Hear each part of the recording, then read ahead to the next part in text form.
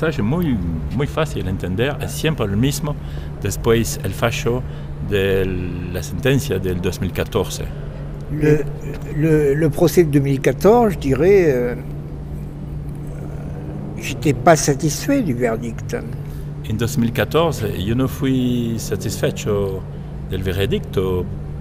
Alors c'est pas totalement vrai. J'étais satisfait dans la mesure où Vilté et Vera ont été innocentés parce qu'il n'y avait pas de preuves scientifiques contre eux. Digamos que yo fui feliz eh, por la- el fallo el que absuelvan Clemente Vera Daniel Vilt, pero Mais euh, par définition, je dirais, et ce que j'ai dit à l'époque au gouverneur Toubaï comme à la présidente Kirchner, et la présidente Kirchner en était d'accord.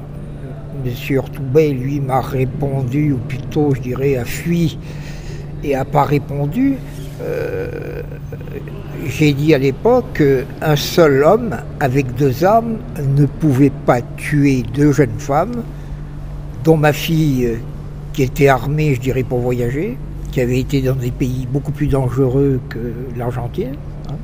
entonces después del fallo de la- del juicio oral, eh, yo fui con dos conversaciones particulares con la presidenta de la Nación Cristina Kirchner y Juan Manuel Urtubey para decir quién mata a la chica francesa y particularmente eh, un hombre no puede matar dos chicas y violar también. Entonces cuando yo le diga a la presidenta Kirchner, ella reacciona en, en la buena dirección y me- me- me- con de pensar y el gobernador Juan Manuel Urtubey baja los ojos como un niño.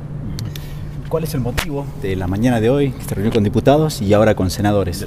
Dos últimas y porque tenemos la cita.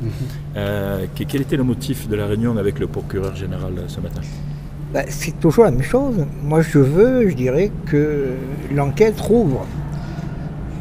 Je laisse, je dirais, au pouvoir judiciaire de trouver les chemins juridiques de cette rouverture.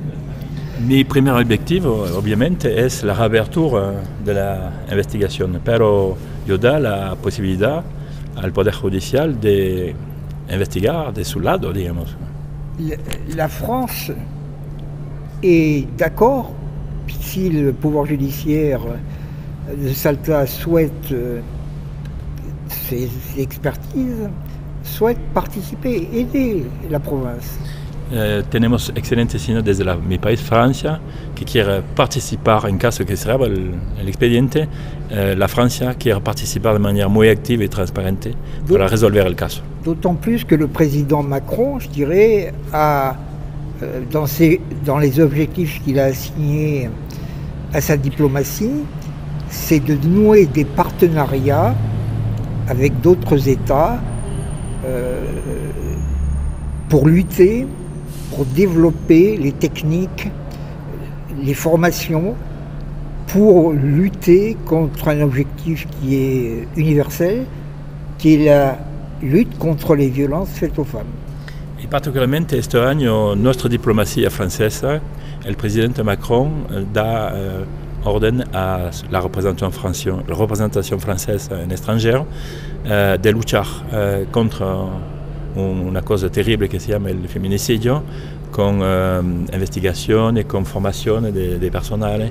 Entonces, eh, digamos, es un, un ángulo muy fuerte de la diplomacia francesa y el caso de la francesa es, digamos, un poco eh, esta dirección actualmente para el poder eh, político francés, es eh, de intentar de conocer la verdad y hacer un ejemplo.